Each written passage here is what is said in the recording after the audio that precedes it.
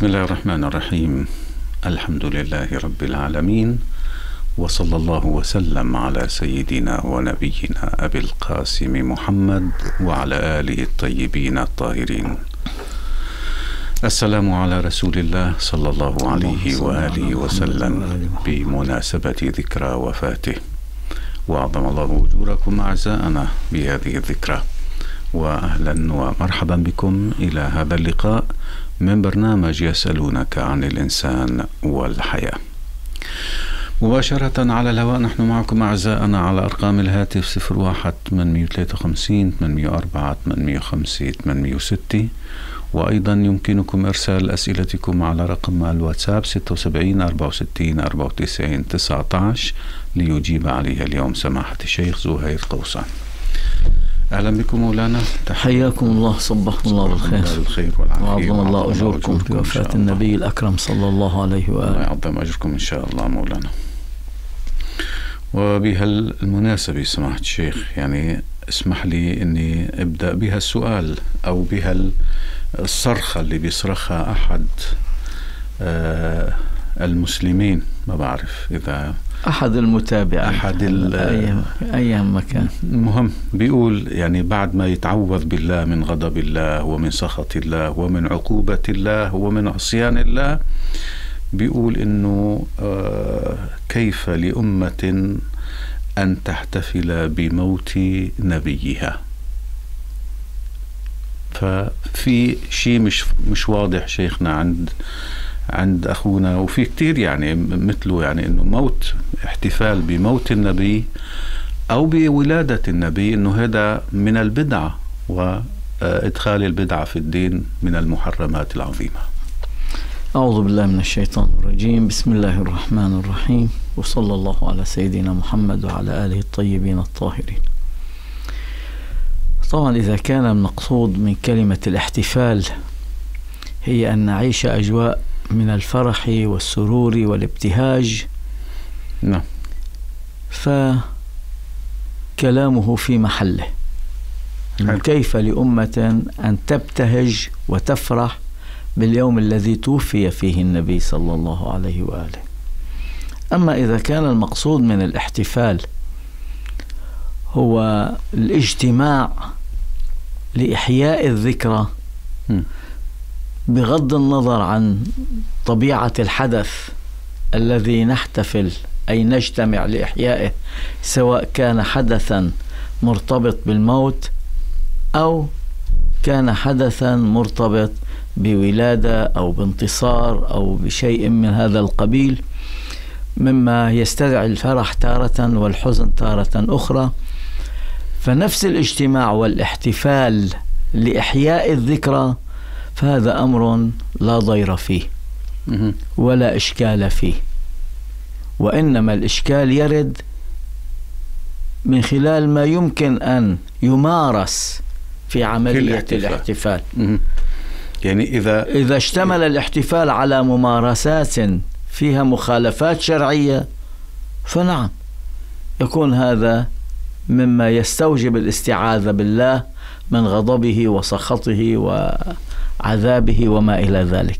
نعم. أما إذا كان الاجتماع والاحتفال لإحياء الذكرى إن في الولادة أو في الوفاة أو في البعثة أو في يوم الهجرة أو ما إلى ذلك فإذا كان الاحتفال من أجل إحياء الذكرى من أجل استذكار المواقف واسترجاع المفاهيم والقيم التي زرعها النبي صلى الله عليه وآله ورسخها النبي وأكدها.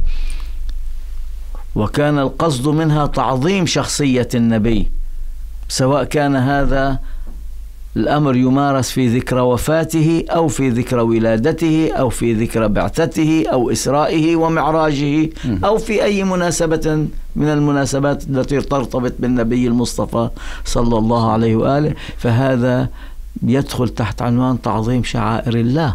والله سبحانه وتعالى أكد على تعظيم الشعائر. ذلك ومن يعظم شعائر الله فإنها من تقوى القلوب.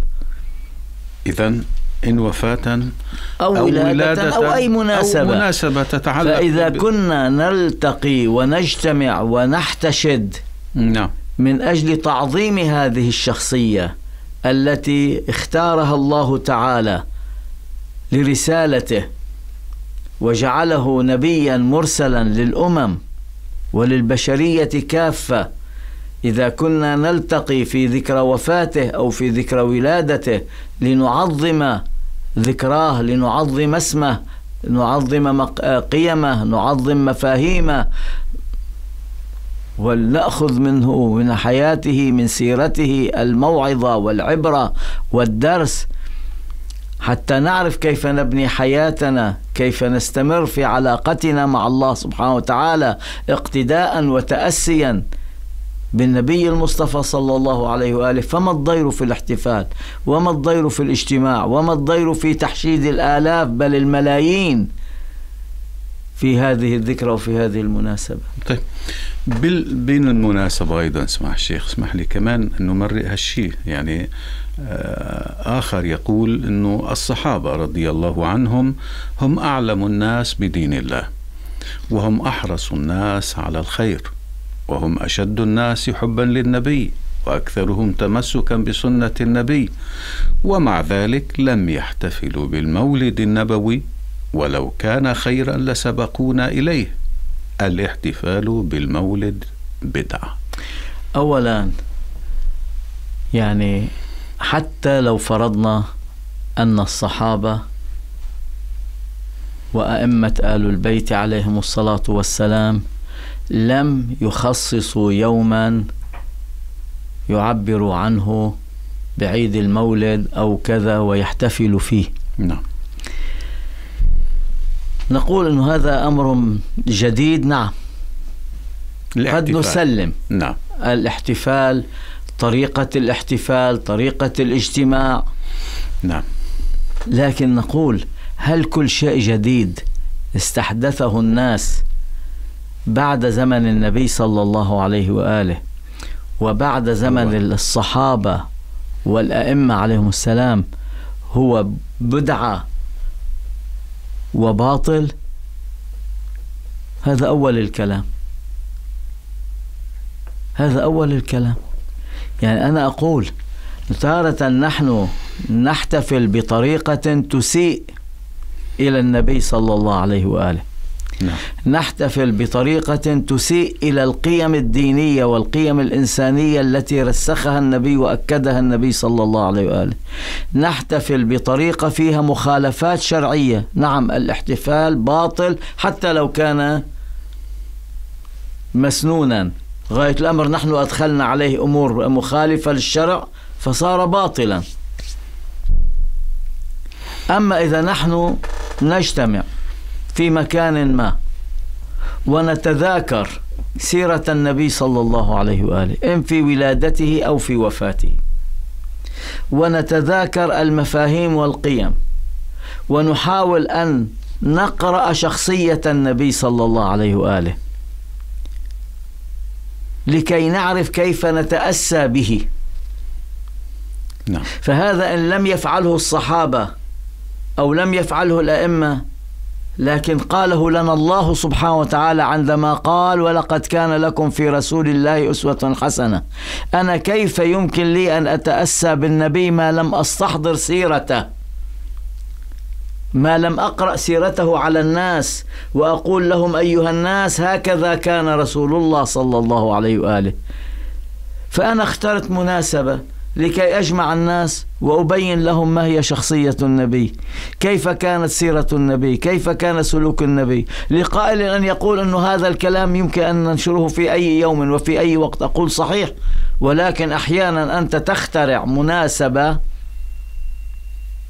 لتستذكر بعض المواقف وتستذكر بعض الذكريات وبعض المناسبات وبعض القيم وبعض المفاهيم. فما المانع في ذلك؟ نحن لا نقول هذا أمر أمر به الله سبحانه وتعالى ولا نقول هذا الاحتفال سنه رسول الله صلى الله عليه وآله أو الأئمة أو الصحابة أو التابعين أو ما إلى ذلك. نحن نقول أننا نحتفل لنعبر عن فرحتنا أو نعبر عن حزننا ونستحضر قيم النبي و نستفيد من سيرة إذا النبي كان السنة والشيعة شيخنا يحتفلون بالمولد النبوي المبارك. منين عم تيجي هاي الأفكار؟ اسمح لي بعد اتصال تفضلوا. السلام عليكم. عليكم السلام عليكم ورحمة السلام الله ورحمة الله. شيخنا نحن لا نحزن على رسول الله فقط بفقدانه بالذات هذه الشخصية العظيمة. التي يعني كما ذكر أهل الدين وغيرهم من أن الشخصية الأولى المؤثرة في هذا العالم. آه، نحن ليس فقط نحزن لفقد الرسول نحن نحزن لما سيجد من بعد موت الرسول. واضح. لأنها بداية الآلام بداية المصائب وأولها غربة علي عليه السلام. يعني علي عليه السلام أول من أول من خسر بفقدان الرسول لأنه استفرد واستفرد به.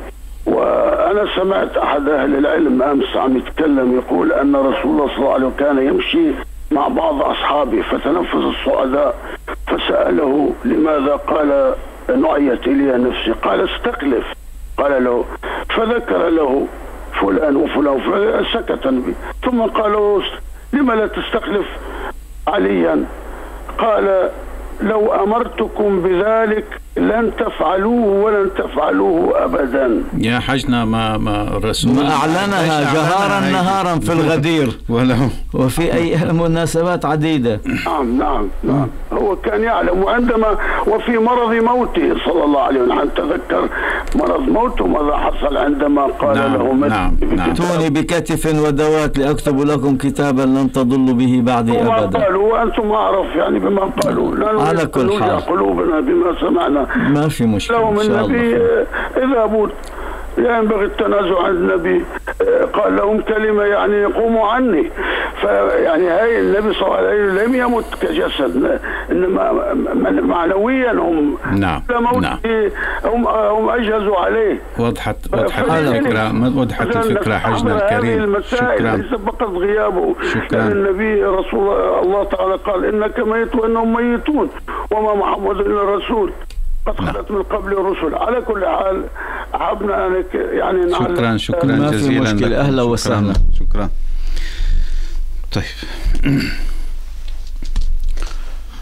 مولانا يعني هلا إنه أفكار أخرى تأتي من خارج ال- الفكر الشيعي ومن خارج الفكر السني يعني م- ما بعرف أي فكر لا لا هو- هناك توجه داخل ال- الأمة الإسلامية مم. هناك توجه داخل الأمة الإسلامية أن كل شيء لم يفعله النبي أو لم يفعله الصحابة وما إلى ذلك هذا لا يجوز لنا أن نمارسه ونفعله مزبوط مزبوط ويعتبر حدا- بدعة. حدا عم يسألنا مرة إنه مم. يعني مثلا إنه صباح الخير إنه الرسول لم يكن يقول صباح الخير إذا ممنوع ما بيجوز تقول صباح الخير هي مزبوط يعني مثل ما تفضلتوا تماما يعني لا لازم فنحن نقول نلتزم بالحرف نحن نقول يعني. أن أول شيء تارة نقول أن هذا شيء بدعة. شو معنى أنه بدعة البدعة هو الشيء الذي نبتدعه ولم يكن موجودا قبل. وهذا على نحوين بدعة باطلة ويشملها كل بدعة ضلالة وكل ضلالة في النار وبدعة لا.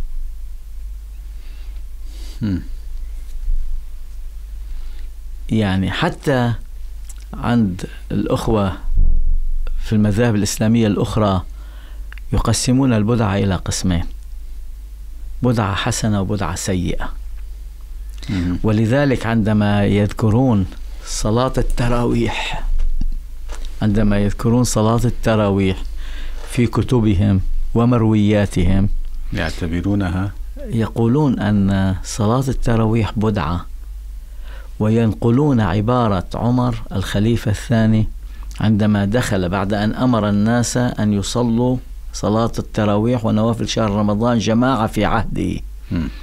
فيقول عندما دخل في ليلة من الليال ورآهم يصلونها جماعة عبر بهذا التعبير نعمة البدعة هي آه. يعني فيعلق اعتبرها بدعة يعلق أحد العلماء منهم وهو صاحب كتاب إرشاد الساري في شرح صحيح البخاري يعلق على هذه المسألة ويقول إنما قال نعمة البدعة هي لأنها لم تكن في عهد رسول الله صلى الله عليه وآله ولا في عهد أبي بكر وإنما أمر بها عمر.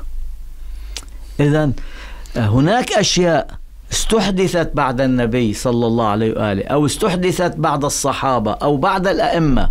لكن ليس كل ما يستحدث بعد النبي أو بعد الصحابة أو بعد الأئمة هو بدعة وبالتالي هو محرم هو باطل. قد نستحدث أشياء كثيرة لكن هذه الأشياء المستحدثة لابد أن نخضعها للضوابط الشرعية. فإذا كانت منسجمة مع الضوابط الشرعية ولا يوجد مخالفة شرعية فيها فما الضير في ذلك؟ بدك تسميها بدعة سميها باعتبار أنها مستحدثة بعد زمن النبي. خير إن شاء الله. أما أن تعترض وتقول هذه مما يوجب غضب الله ومما يوجب سخط الله لماذا؟ إذا كان فيها تعظيم للشعائر إذا كان فيها تعظيم لشخصية النبي إذا كان فيها تعظيم لقيم النبي صلى الله عليه وآله ما الضير في ذلك؟ نعم. بيقول شيخنا فيني صلي صلاة الحاجة في هذا اليوم الحزين؟ طمعي أن تقضى حاجتي هذا اليوم. قصدي بمصيبة رسول الله صلى الله عليه وآله وسلم. آه فيني صلي هذه الصلاة. صلي اللي بدك إياه واطلب اللي بدك إياه. يوم وفاة النبي صح الإنسان نحن أولا خلينا نجي شوي نوقف عندها. النبي صلى الله عليه وآله وسلم عندما توفي فهو شأنه شأن كل البشر.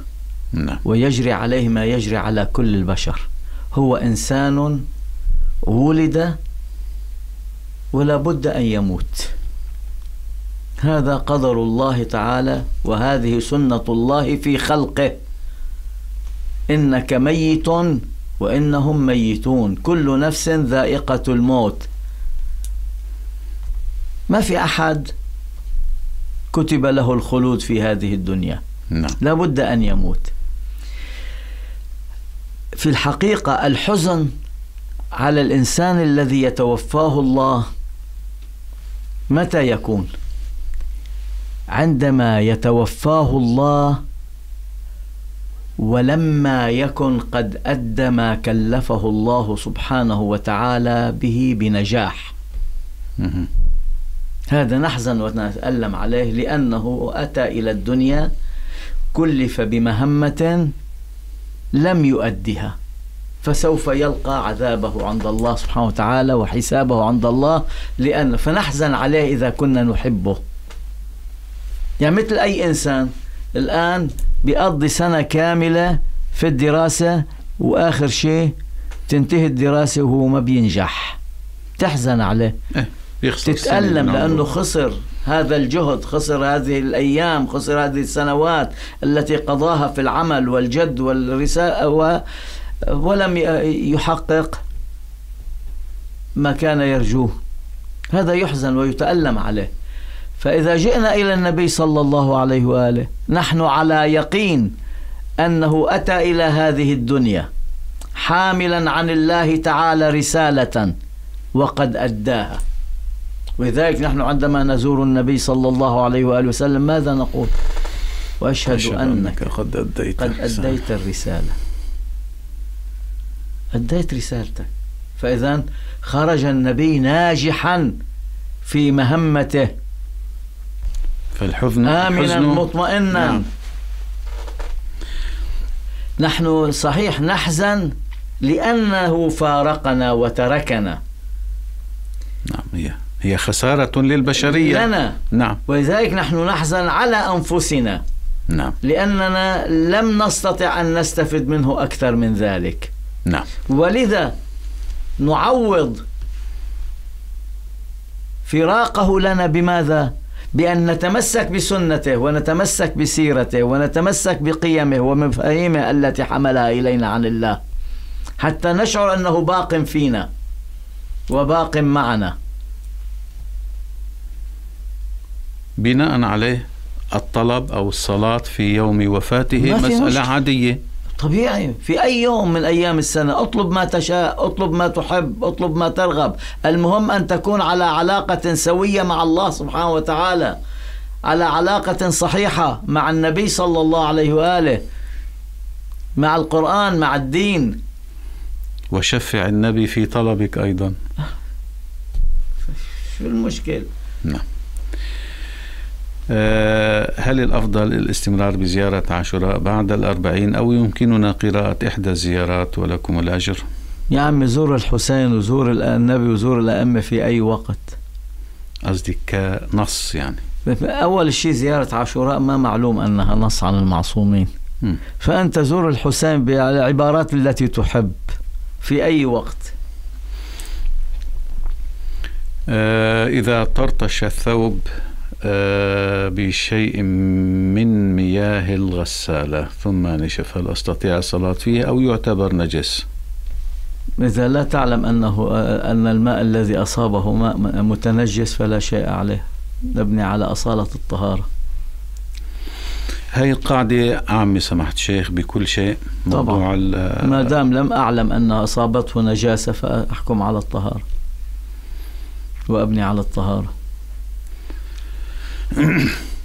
الاحتفال أو إحياء ذكرى ولادة أو وفاة رسول الله أولى أم الاحتفال باليوم الوطني أو يوم الأم أو يوم العمال؟ ونحن في ذكرى وفاة أحد والدينا أو أحد الأعزاء. نحيي هذه الذكرى بزيارة قبورهم وقراءة القرآن وتوزع طبعا. طبعا يعني سؤال آه، آه، استنكاري وليس سؤال استفهامي يعني إنه إنه نحن عم نحتفل بموت والدينا أو والدينا. عم نحتفل باليوم الوطني وعم إيه. نحتفل بال شوف المسألة أنت ك... أنت كيف تحيي هذا اليوم؟ نعم. أنت كيف تحيي هذه المناسبة؟ فتارة تحييها بطريقة صحيحة وسليمة تستفيد منها تستفيد من استذكار الحدث للاتعاظ والعبرة وتارة تحولها إلى حالة عبث ولهو وفوضى ومخالفات وما إلى ذلك. فمرة بتكون حلال ومرة بتكون حرام. نحن بنحول المسألة إلى حلال وحرام. صحيح.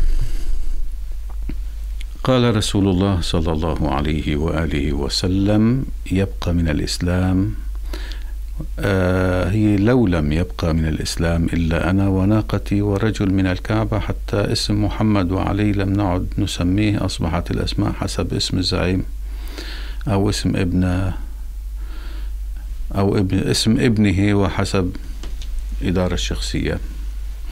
يعني ما ما سمعنا بهذا من قبل؟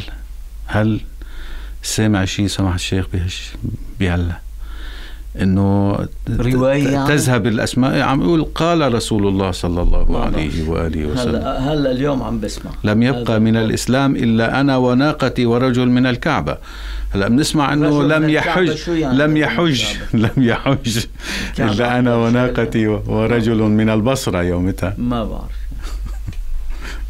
السؤال لا تعليق. السؤال أحسنتم. يعني ما مش واضح لحتى نقدر نعلق على كل حال. ما في تعليق. زوج يضرب زوجته ويشتمها آه وهو سيد وكأنه سيد وزوجته وزوجته عبدة. يعني آه، ما رأيكم بهذا؟ هذا ظلم ما بعده ظلم لأنه ما في سيد وعبد بين الزوج والزوجة. لا هو سيد وهي أما ولا العكس؟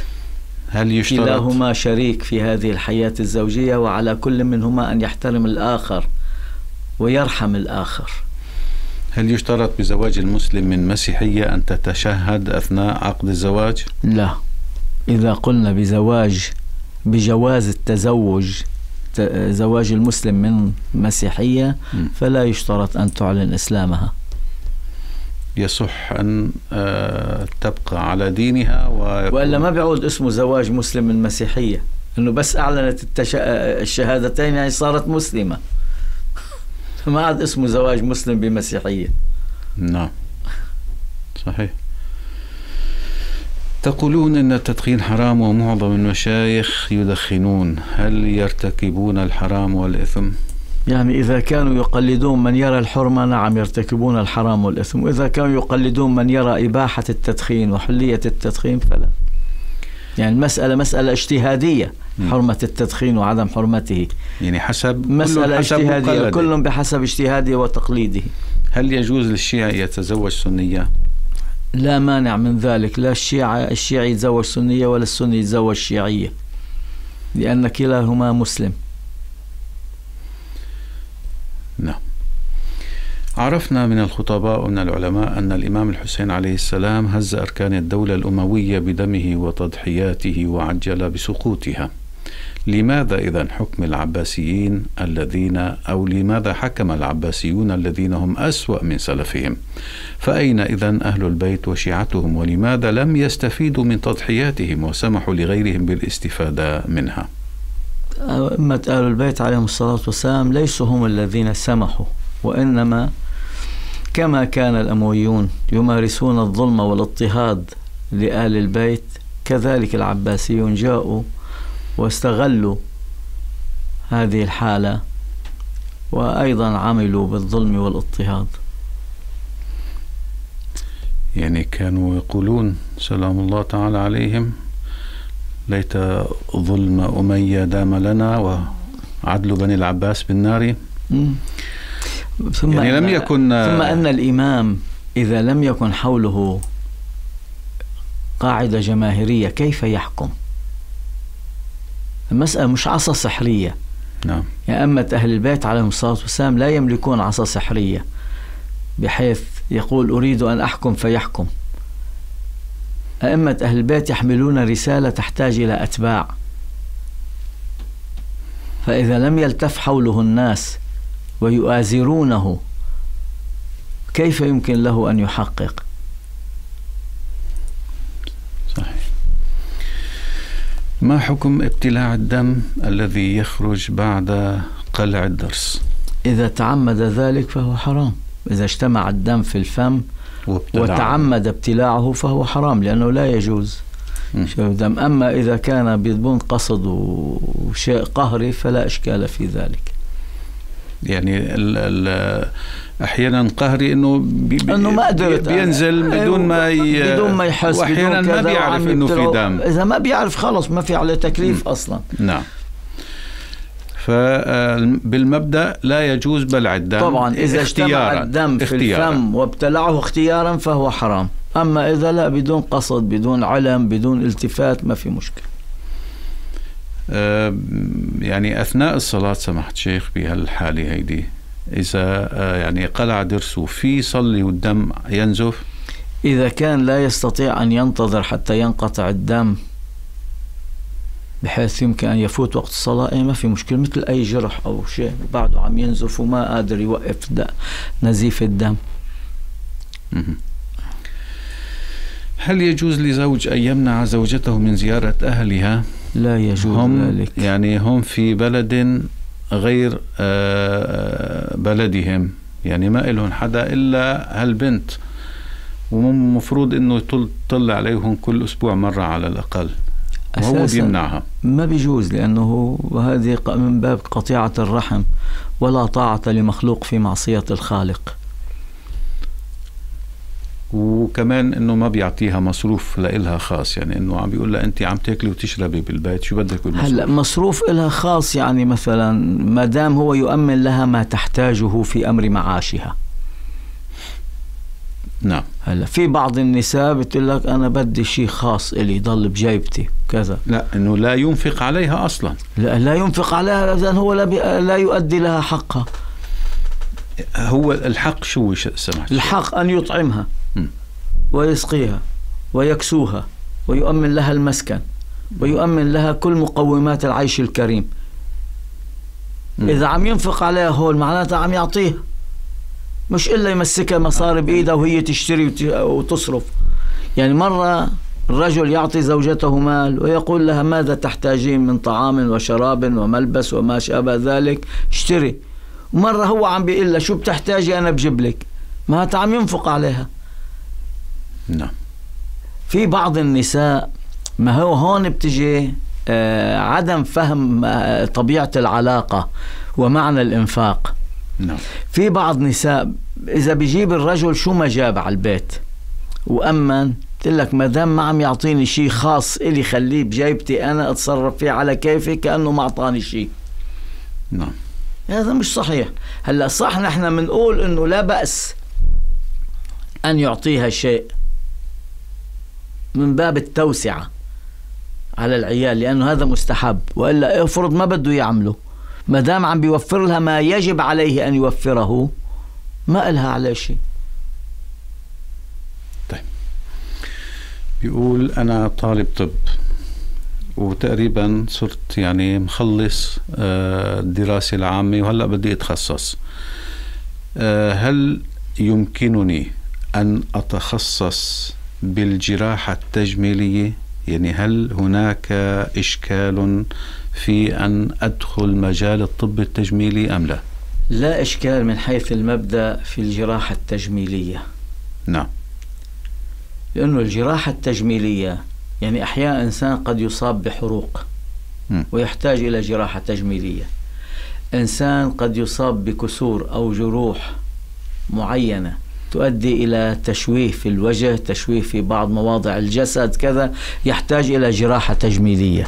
م. يعني ليس دائما الجراحة التجميلية تستعمل يعني, يعني امرأة للتبرج والتزين وما إلى ذلك. الجراحة التجميلية بابها واسع ومجالها واسع وكبير. نعم فمن حيث المبدأ لا إشكال ولا حرمة في التخصص في الجراحة التجميلية غاية الأمر قد يقع الإنسان في الإشكال الشرعي عندما يبدأ بالممارسة العملية م. لهذه لهذا الاختصاص مثلا شيء. فمثلا إذا جاءت امرأة تريد أن تجري جراحة تجميلية في بعض مواضع جسدها مما يستدعي النظر واللمس وكذا فطبعا لا يجوز للرجل أن يمارس هذا العمل بكل آه، الظروف ولا في ظرف خاص لا لا لا عم نقول بشكل طبيعي آه، قصدي يعني فإذا كان في حالة اضطرار هو في حالة أم هي؟ اضطرار سواء الرجل المريض دائما بدنا نأخذ حال المريض نعم. نعم. في حالة اضطرار وما في عنا إلا رجل أخصائية تجميل م. تستطيع أن تقوم بهذا العمل وهذه الامرأة عندها حالة معينة تضطر إلى إجراء مثل هذا العمل. م. فهنا على القاعدة الضرورات تبيح المحظورات. أما إذا ما في اضطرار لأن يقوم الرجل بإجراء هذا العمل لأن هناك طبيبة مثلا مختصة بهذا المجال وتستطيع أن تقوم بهذا العمل بدون أي تقصير وبدون أي حرج بدون أي إشكال فلا يجوز للرجل حينئذ أن يمارس هذا العمل. يعني من حيث المبدأ ما في مشكلة. الطب التجميلي جائز جائز ولكن بالتطبيق بده ينتبه. بالتطبيق بدنا نلتفت. هذا هو. مثل الآن الطب العام. نعم. الطب العام نفس أن طبيب صحة عامة. نعم. مرة بيجي طبيب بده يعالج امرأة ويكشف عليها مع وجود طبيبة.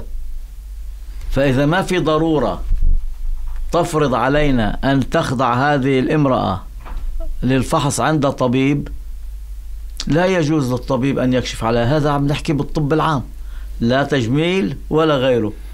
نعم. صحة عامة.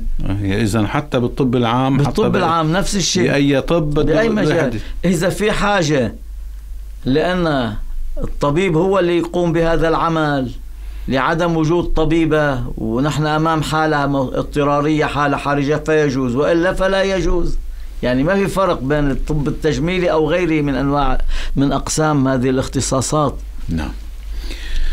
نزلت من ضيعتي لمكان أقطع فيه مسافة سفر بس قبل ما أقطع المسافة وصلت إلى صيدا وأذن أنا بصيدا. كملت طريقي في هذه الحالة صلاتي تمام أم قصر؟ لا بده يصلي قصر ما دام هو شرع في السفر وخرج من بلده.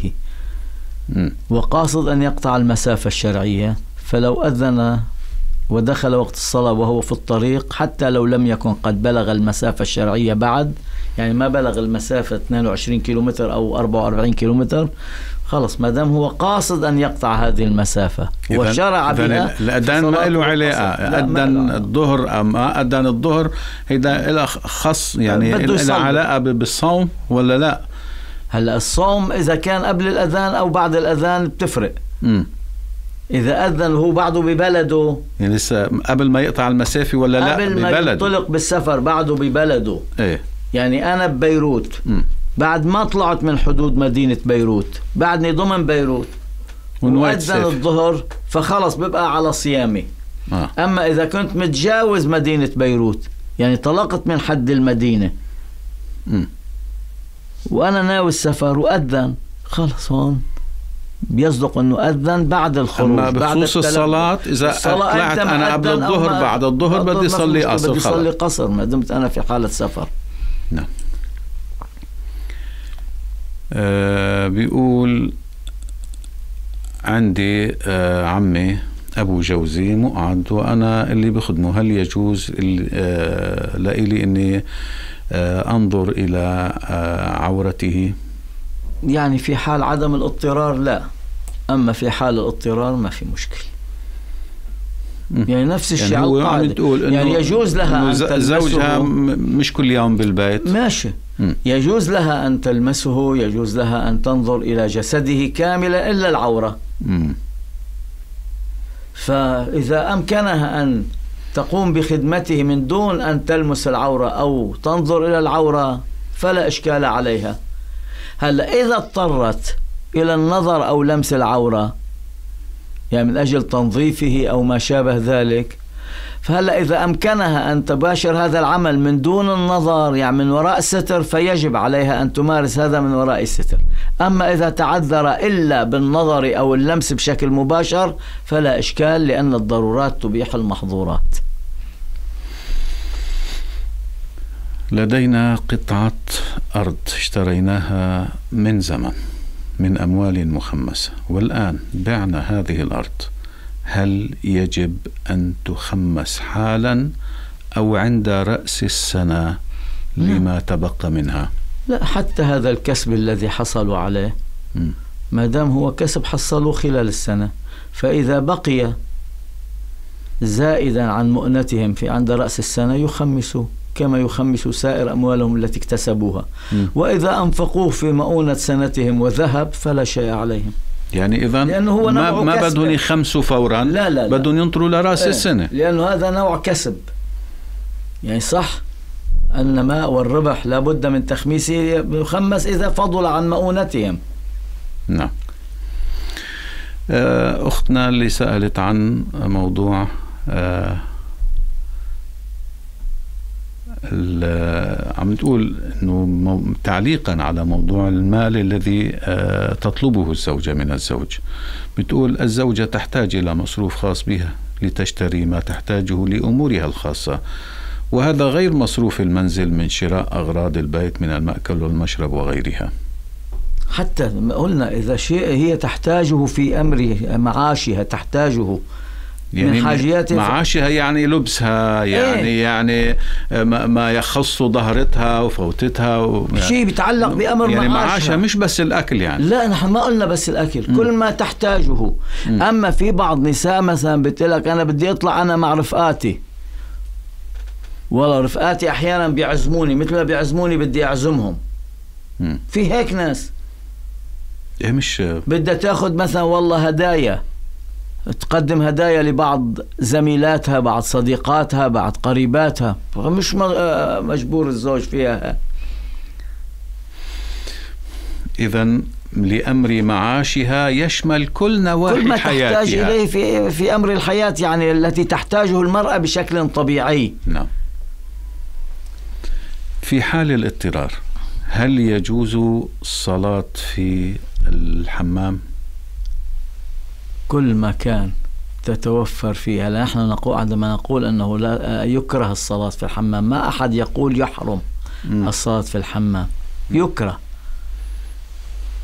وإلا هو بالأصل يجوز. المهم أن نحافظ على موضوع الطهارة.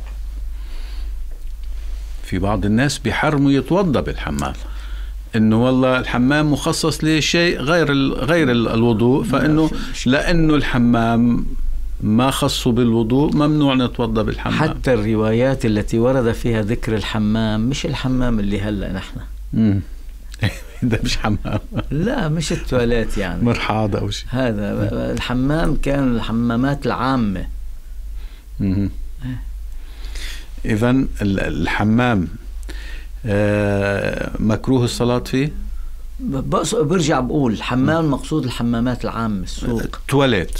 خلينا نقول ما بيأثر حتى لو المهم هلا مكروه نعم مكروه ليش؟ لأنه لما يمكن يخشى أن يكون في نجاسة كذا أما في حيث المبدأ لا.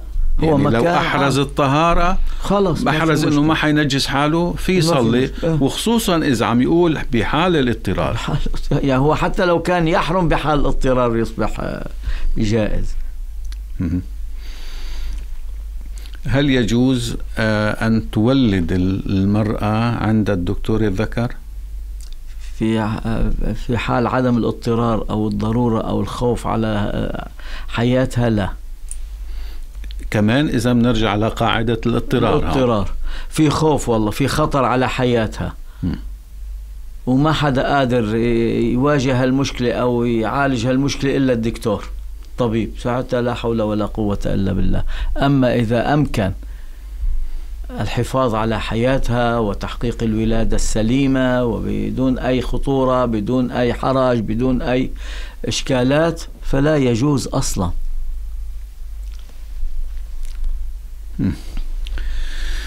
يقول آه والدي لا يستطيع أن يحلق شعر العانة لأنه قد أصيب بالعمى وأنا أساعده في هذا الأمر. ما في مشكلة. المهم أن يجتنب ما أمكن لمس العورة والنظر إليها بشكل مباشر.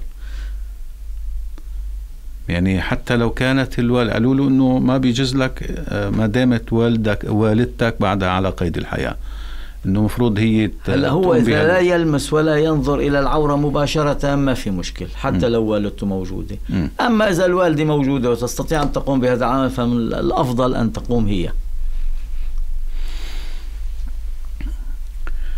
آه الرجال إذا ما أعطى الرجال إذا ما أعطى زوجته تشتري هدايا إذا حدأ أهديها أو بتطلع مشوار من وين بدها تاخذ وهي بتكون تركت شغلها مشان البيت والأولاد. يعني هي عايشة ببيتها مش مش مسؤول زوجها تروح تهدي آه، رفقات يعني والله وحدة آه، صديقتها أو قريبتها عملت آه، حفلة عيد ميلاد. أو صار عندها ولادة أو تزوجت. وزوجها أنا لا بعرفها ولا بتعرفني ما بدي أروح أقدم لها هدية. هي بدها تقدم لها هدية شو خص زوجها ليقدم لها هدية؟ مش عم نقدر نفرق شيخنا ما بين الواجب وال نحن بنقول وال... والمناسبات الاجتماعية. ويستحب للرجل إنه يوسع على عياله وهي من باب التوسعه فهذا يدخل في عنو... تحت عنوان الاستحباب وليس تحت عنوان الواجب. م. هذا هو. يعني نحن ما بنقول إنه والله الزوج يمسك إيده على الآخر بس كمان ما فيني أقول عنه مقصر وما عم بيقوم بواجبه إذا ما عمل هدول. لا. وأنا أنا شخصيا بقول لك إيه نعم يستحسن للرجل أن يكون سخيا كريما حتى في هذه مثل هذه المناسبات.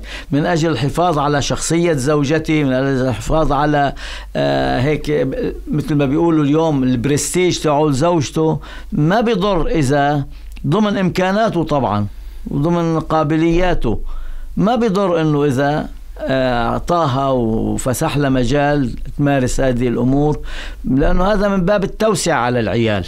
وهذا أمر مستحب ولا سيما إذا كان يحقق مزيد من الاستقرار مزيد من التواؤم مزيد من التفاهم بين الرجل والمرأة.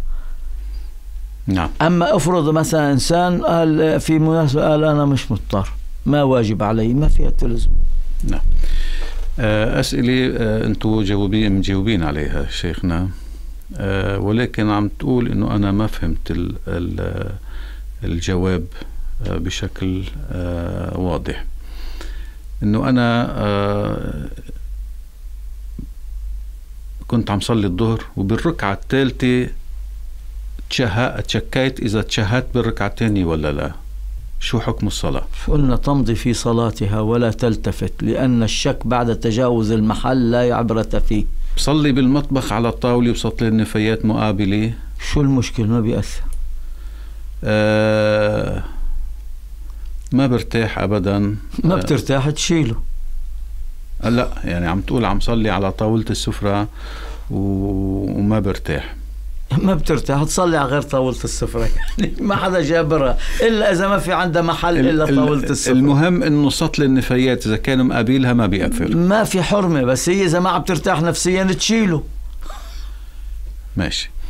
آه بوقتها بالنسبة للصلاة وقت اللي شكت هي صلت ركعة احتياط. بيأثر شيء على الصلاة؟ لا صلاتها صحيحة. هلا صلت ركعة احتياط خير إن شاء الله. الله يتقبل. وجاوبنا بشكل كامل ومفصل. نعم. آه عم بيشتغل بالبيت وبيقرأ آيات من القرآن الكريم وبصير بالحمام بعدم انتباه. ما بوقف يعني قراءة الآيات المباركة. من إلا تابع قراءة الآيات ولو بانتباه. لأنه يكره التحدث في في بيت الخلاء إلا بذكر الله. يعني إذا كان الإنسان في مكان قضاء الحاجة يعني في التواليت مكروه أنه يحكي إلا إذا كان الكلام بذكر الله. بذكر الله. فهذا مستحب وليس مكروها. يعني فهون مش بس بدون انتباه لا خليها تكون منتبهة وتقرأ آيات القرآن الكريم. في كتير أمور نحن مش عم ننتبه لها ومش عم نعرف كيف بدنا نتعاطى معها. يعني إلا بس تفوتي على الحمام اقرأي الآيات وأنت ملتفتة وقاصدة. مش بدون التفات لا بقصد اقرأي الآيات. حتى لو ما كنت عم تقرأي بس تفوتي اقرأي. كيف بدنا نتعامل مع ناس يفعلون الفواحش أو لا ينهون أولادهم عن الفواحش؟ يعني بنتعامل معهم بقدر الضرورة. في بعض العلاقات لا بد منها ولا نستطيع أن نخرج منها. فهذا نقتصر عليها أكثر من هيك. إذا ما قدرنا نمنعهم من ارتكاب الفواحش وما قدرنا ننهاهم عن المنكر فبنقتصر على العلاقات التي لا بد منها في هذه الحياة. هل الله تعالى يثيب الفاسدين بقدر ما يثيب المؤمنين؟ كيف فاسد وبده يثيبه الله يعني؟ ما بعرف. الفاسد لا يثاب بينما المؤمن. يعني كل يحاسب على فعله وعلى عمله. صحيح. هناك بعض الأشخاص المسلمين يشككون بعدالة الله حيث يسألون ويتساءلون عن عدالة الله في توزيع الأرزاق والابتلاءات وغيرها ماذا تردون عليهم؟ نقول أن هناك سوء فهم لمعنى الابتلاءات. نعم. وعندما نفهم ونعي الحكمة والعلة من هذه الابتلاءات والمصائب والآلام التي تعتري الإنسان في حياته الدنيا فنفهم أنه لا ظلم في هذه المسألة. الله هو العادل في كل شيء. في كل شيء ولا يمكن أن نتهمه. بالظلم أبدا. نعم. آه كمان آه هل تقع الطلقة على المرأة وهي حامل أم لا تحتسب طلقة؟ كذلك هذا السؤال. أجبنا, أجبنا عليه وقلنا نعم. أن الطلاق صحيح وتحتسب طلقة. أه تحتسب طلقة أولى يعني. طبعا. أه لماذا تظهر على جبين الرجل الرجل بقعة سوداء من أثر السجود خاصة هي بتختلف حسب بشرة الإنسان. يعني في اشخاص إنه ليش ما بتظهر على جبين المرأة مثلا؟ ما لها علاقة يعني حتى بعض النساء ممكن بتظهر يعني هاي مسألة إنه حسب في رجال كتير ما بتظهر. ظاهر الرجل بشد أكثر على السجدة يعني؟ ممكن. يعني في كثير رجال ما بتظهر على جبينهم أيضا. بيصلوا وكل شيء بس ما بتظهر على جبينهم وفي رجال بتظهر. إنه ما لها دلالة شيء يعني. لا هي قصة السجده واحتكاك بالبشره ولا شيء ما في أي دلالة.